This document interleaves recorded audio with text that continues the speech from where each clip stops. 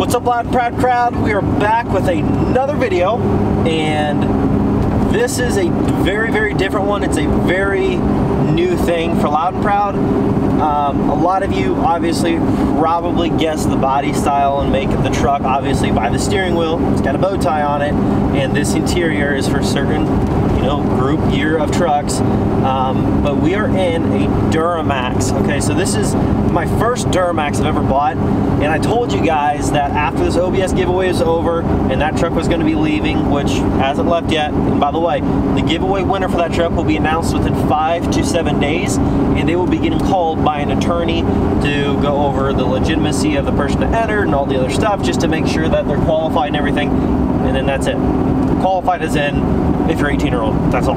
Um, basically, uh, that's what's going to be taking place within the next five to seven days. So keep your phones ready to possibly be getting a phone call. So just keep your phones on, keep them ready, and be paying attention. But anyways, all that aside, I picked up a 2008 LMM Duramax, and I did my research.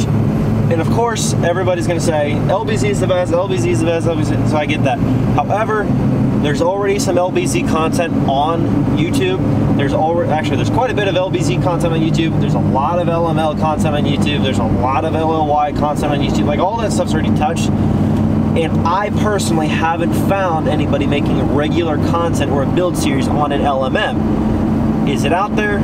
Maybe. I, I, really don't know. I haven't really researched Duramax content that much. All I know is from what I've seen from most of the go-to channels for truck content that's actually daily, not just like a random uploaded video. I don't see much of LMM LMM content or this body style truck specifically. So this that is one of the biggest reasons why I went with this truck. Um, it's a four-door, full four-door, short bed configuration and you guys will see around the truck in just a minute. I got a really good deal on the truck, I feel like. Um, it wasn't like a steal of a deal, but I definitely didn't overpay for the truck. I'm not going to get into prices because we know how people are.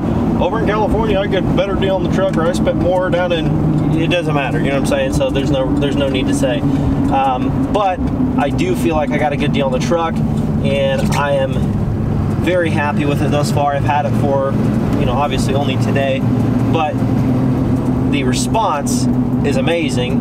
The sound is amazing. It does roll a little coal, and it does have some get up and go. Like it moves really good. It's I don't know who tunes it. I know that the guy said that um, he took it down to Fleece Performance to have them do the work on it to make sure that the tuner was um, properly hooked up and everything was in top shape. And then it's obviously deleted and all that jazz. So that's good to hear that it's been deleted for several years now. The truck has 154,000 miles on it, which isn't bad. And then also, this truck, if you look up the information on the LMM Duramax, it's basically the guts of it are basically the same as an LBZ. A lot of people don't realize that. Um, obviously, if you're a die-hard Duramax guy, you probably know that.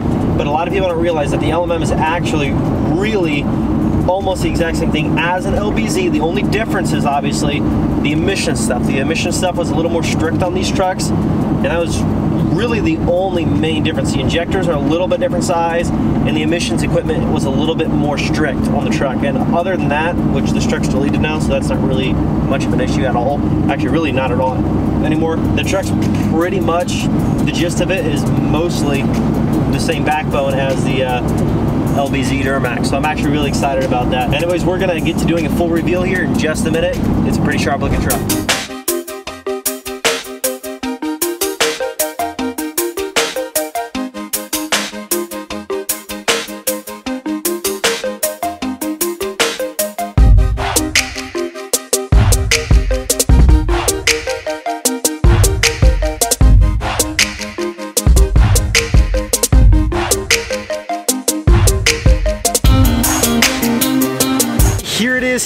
2008 LMM Duramax diesel, and this is a pretty clean truck, very clean truck. For being a truck that's up north here, it's very, very clean. You can see the bumpers aren't all rusted out and crap. Bed's not all beat up. There's no dents all over the bed sides and crap or big gashes.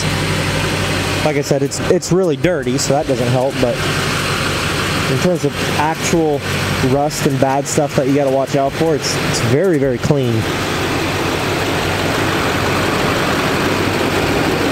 Runs good. But I mean, this thing just pulls going down the road, man. I mean, it just yanks.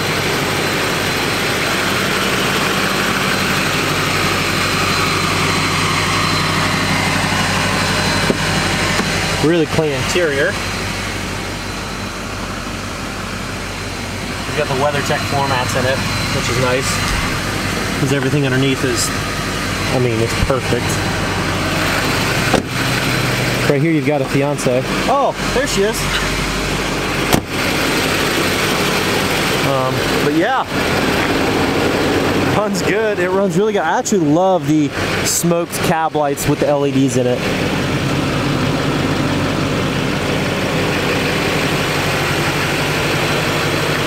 Yeah, she's good. She runs good. Let's take a look under the hood here.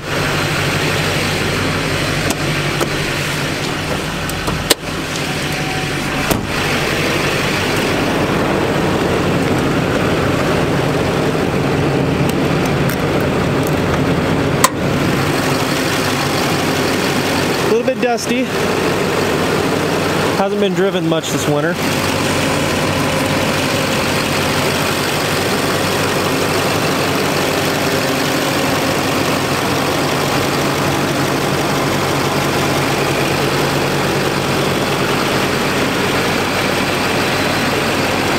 She runs good. She purrs like a kitten.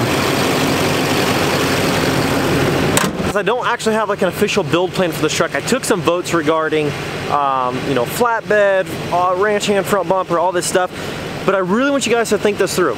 If you were to be driving this truck, practicality wise, practicality, but also just cool factor, because not everything has to be practical to be a sweet truck. I mean, it's a it's a freaking sweet truck regardless. But in terms of the coolest way you could build this truck, what would you do? Would you do ranch hand bumper and flatbed?